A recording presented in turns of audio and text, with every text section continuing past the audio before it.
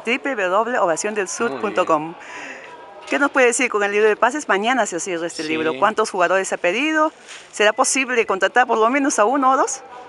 No lo sé, ahí hemos dado algunos nombres de algunos chicos jóvenes por lo menos y algunos de experiencia en, en algún lugar que, que necesitemos para, porque es un, un plantel corto, con, con muy pocos profesionales y muchos chicos jóvenes que, que todavía están trabajando y, hacer un análisis rápido también es medio complicado, pero bueno, trataremos de, de ver, es verdad, nos complica el tema del libro de- del cierre del libro de pase y para inscribir, pero bueno, veremos qué podemos hacer y si no, con lo que tenemos trataremos de, de- pelear este, este campeonato. Profesor, ante todo, bienvenido a Arequipa. Ah, queremos saber, profesor, ¿cómo encontraba el equipo? No, el, el equipo con una predisposición enorme, con unas ganas de, salir adelante, de superar este mal momento, porque es un momento complicado, difícil, que tenemos que tener todo conciencia de ello. Nosotros hemos venido para, para colaborar, para tratar de darle todo lo que está a nuestro alcance, pero esto eh, se puede sacar a- y se puede superar en base a ese compromiso, a esas ganas, ese profesionalismo, a esa personalidad y todo aquello que, que nos, este, nos, nos permita mejorar. Nosotros en nuestra parte con, con Leo, Martín, en la parte física, en la parte táctica, todo lo que está a nuestro alcance se lo vamos a dar para que el jugador se sienta cómodo, para que pueda a superar esa, esa- esa presión que tenemos ahora y, y podemos encontrar los resultados, que es lo más importante para, para, para salir del fondo y una vez de eso trataremos de ser distintos, pero por ahora va a ser duro para todos. Profesor, el señor Estraquia, el director, dijo que este plantel es muy corto el equipo de Melgar. ¿Usted qué dice?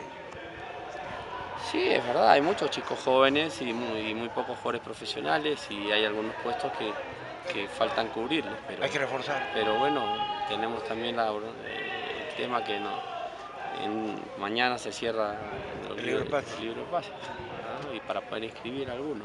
Y tampoco es tan fácil encontrar a un jugador importante que nos pueda dar A esta una altura mano. ya a hay esta altura no, es difícil.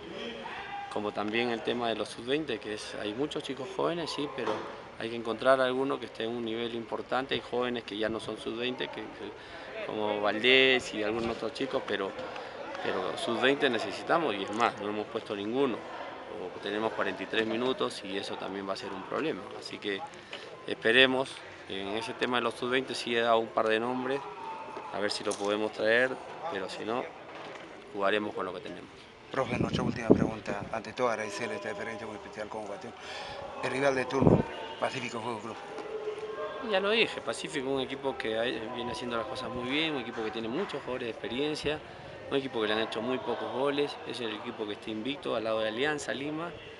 Eh, le costaba, le decían que el análisis de la, gente especializada que le costaba hacer goles, el último partido hizo tres y ganó muy bien.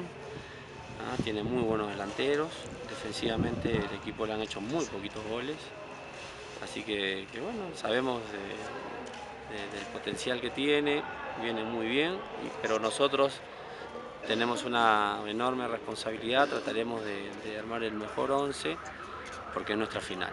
Y el objetivo principal y fundamental es poder superarlo y ganar los tres puntos. A nombre de Ovación, profesor, la mejor de las suertes y ojalá que esto se dé por el bien de su persona y también por el bien del plantel arequipeño. Sí, ojalá. Esto es una responsabilidad de todos, ya lo dije, principalmente de los que tienen la responsabilidad directa, son los jugadores. Nosotros estamos enfrente, los dirigentes, darnos todas las, las posibilidades, la oportunidad y la facilidad, principalmente para que los jugadores no, no tengan ningún pretexto, de- ni- ninguna excusa en relacionado a lo que es nuestro trabajo y a las necesidades básicas que, que necesita un plantel profesional, mucho más en el lugar que nos encontramos. Así que en ese sentido he tenido, eh, he tenido ese compromiso y- y, este, y la promesa de que eso no va a suceder, ni con los dirigentes que, que- que- están, que han sido de toda la vida en Arequipa, encabezados por, por el vicepresidente de la federación, por Aníbal y, y- y- y- y principalmente por los administradores temporales, entonces que están tratando de hacer las cosas bien, de sanear eh, el club y dejarlo eh, bien caminado y encontrar eh, realmente esa- ese equilibrio en todo, en todo sentido Entonces, pero ayuda muchísimo también este, lo que podamos hacer deportivamente. Pero eh, mi trabajo eh, se, sustenta en, ese apoyo incondicional de, la dirigencia, en la, en la, comprensión y en la crítica objetiva y, seria y veraz de la prensa y, y bueno, y tratando de, de, que los jugadores alcancen ese mejor nivel y de ese compromiso fundamental. O sea que se necesita de muchas cosas para sacar esto adelante. Es difícil, pero, pero bueno, tengamos fe. Un reto, profesor, para Y es usted. un reto enorme para todos, para todos. Así que bueno, ya estamos acá y hay que tener fe y hay que confiar en, en este grupo humano que, que, está al frente de, de, de Melgar. Un día importante el de su llegada, que nunca olvidaremos, el, el día de Melgar, el Muy aniversario. Bien, sí, ya lo fue.